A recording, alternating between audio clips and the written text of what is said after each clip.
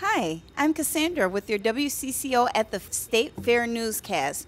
We begin today's coverage with news from the haunted house. WCCO anchors Frank and Chris went in this morning, but they haven't come out. Witnesses who saw them enter said they looked ready for anything, not scared in the least. That was four hours ago. A search party went in 30 minutes ago. Reports say that they can hear Frank and Chris's screams, but they haven't been able to track them down yet. A mummy from the second floor says he saw the pair about an hour ago. He said they jumped and screamed, then raced off before he could grab one of them. This is a developing story. We'll keep you updated on the search. Let's check in on weather and traffic.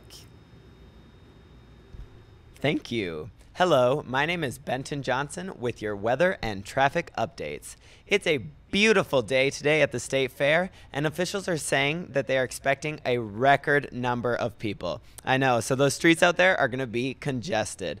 We are beginning to see backups on Judson Avenue by the Miracle of Birth Center, as well as um, Clifford Street, where Ashley the cow is expected to give birth at any moment.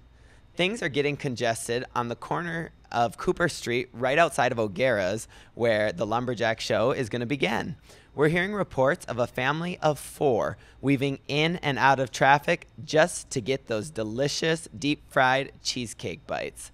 Um, they're pretty good. You should try them out. Um, there's also a lot of grilled cheese bites here as well, which are also pretty good.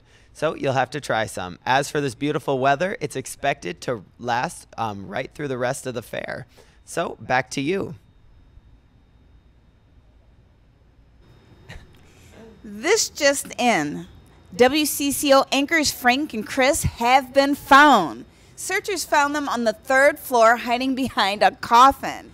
They are tired, thirsty, and still a little shaken after the long ordeal, but are expected to be okay. I'm Cassandra. And I'm Benton Johnson. Thank you for watching WCCO at the Minnesota State Fair.